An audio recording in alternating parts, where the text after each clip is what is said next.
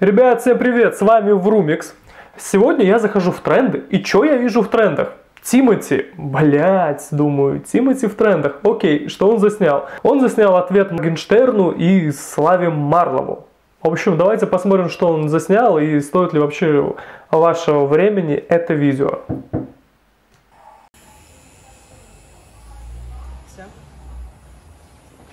Итак, Моргенштерн, я видел твое видео, обращение. Я тебе хочу сказать, старик, я не знаю, насколько мне идут и подходят твои татуировки, но... Блять, мужик, тебе 35 плюс, и ты пытаешься косить под новую школу. Значит, смотрите, Тимати, он очень умный парень. Вот, и раньше он у нас был в образе такого, знаете, Black Star, мафия, гэнгста, такой Тимати, я Тимур Ильдарович, ко мне не подходите, застрелю, суки. А сейчас мы просто видим, что Тимати, ну, такой легкий чувачок, который может переодеваться, может переобуваться. А вот, он может быть и с новой школы, он может быть и со старой школы, он может быть э, в респекте кидать Рамзану, здороваться а, с мистером Путиным и так далее. Вот, то есть он очень разный чувачок, это двуличие лицемерие в Тимати я вижу, ну, не первый год, тем более, как он компилирует какие-то вещи, где он что-то пиздит, да, и выдает это за совершенно новый продукт, за продукт, который никто еще не юзал, кроме него. И здесь что я вижу?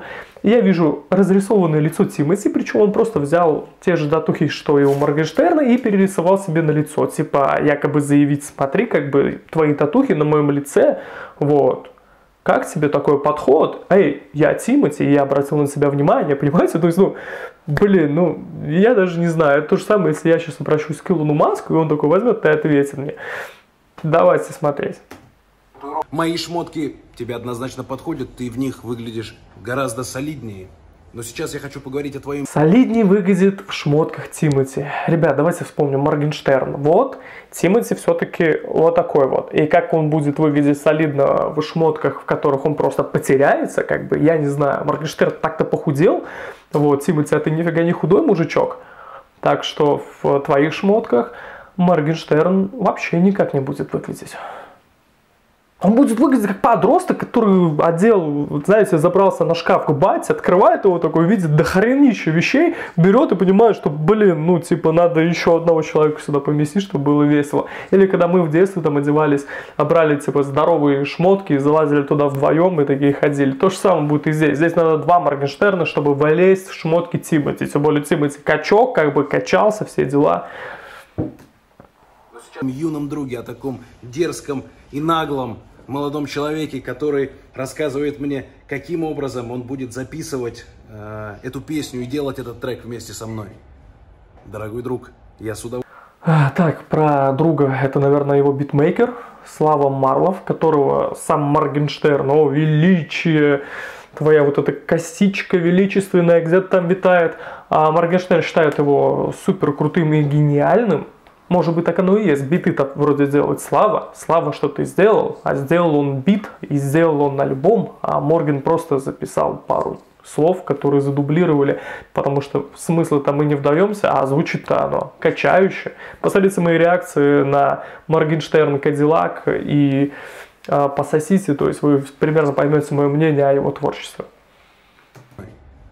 Дорогой друг, я с удовольствием принимаю все твои условия и не буду вносить никаких корректировок и поправок в произведение, раз уж ты так нагло обратился к старику. Но в свою очередь у меня тоже есть условия. Господи, как же Тима тебе условия? Я обожаю этого чувака, вот серьезно. Вот и вот ты просто, знаешь, идешь такой, он свалился с велика, Тимати, да, ты подходишь такой, ой, Тимати, ты упал, тебе может помочь? Нет, нет, нет, это было прописано в контракте, мое падение было вот здесь зафиксировано, видишь, все по сценарию так и должно быть, теперь я встаю, сам стою, отойдите от меня.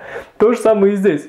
Блять, не может он без условий, вот ни в какую. Ну ты же изначально говоришь, что окей, я согласен, не буду вносить корректировок, меня устраивает тот расклад, который вы мне даете, но Бля, Тимати без Ноэля просто не Тимати, а Тим. Не так звучит. Я вас двух сниму в клипе на эту песню так, как я хочу. И вы не сможете внести ни одну поправку в сценарий этого клипа, плюс я помещу туда столько рекламы, сколько я захочу.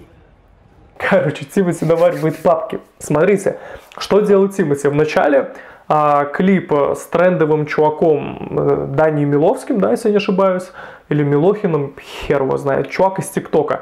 А, трек Хавчик, клип Хавчик, у меня тоже есть обзор, можете заценить.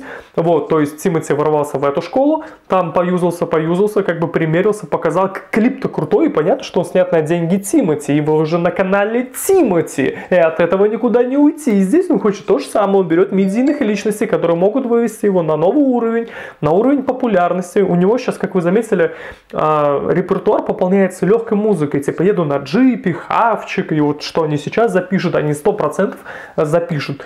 Трек, клип Тимати Моргенштерн будет 100%. От этого не уйти.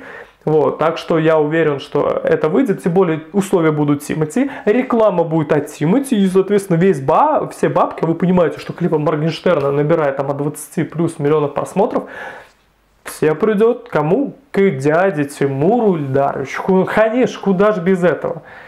Ну, что еще скажешь, мужик? Девочки, вы готовы? Я еду к вам в трэп-дом. Встречайте. Я еду в трэп-дом. Блин, раньше были бладхаты, скриптониты. Сейчас просто в трэп-дом ездит Тимати э, с отбеленными зубами, с нарисованными татушками. Такой радостный и счастливый. Ну, Тимур решил вернуться в музыку, это хорошо. И возвращается он при помощи популярных людей. Вы помните изначально вот вся его история успеха, которая привела его к Олимпийскому, да, то есть это вот эти хиты, которые уже как бы, знаете, вот полухиты. Есть полухит, он звучит немножко не так, но мотивчик-то есть. Типа, Лада Седан, баклажан, да, то есть Тимати увидел это и раскрутил. Правильно, там, давай до свидания, тоже услышал, сделал крутой диск на Киркорова, раскрутил, да, это взорвало и остальные, типа, ты что такая дерзкая и прочее. Он берет мимасные фразы и просто дублирует их в своих песнях, выдает это на офигенно высокий уровень по маркетингу, а, по рекламе, по пиару и прочему, и просто взрывает, понимаете, вот этими короткими, въедливыми фразами. А, поэтому здесь будет то же самое. В общем, ребята, ждем дальнейшего развития этой истории. А вот, с вами был Врумикс, я посмотрел ответ Тимати Моргенштерну и его супер-мега-продюсеру Славе. И давайте, ребят, подписываемся, жмем пальчик вверх, пишем комментарий, а я пишу новый видос.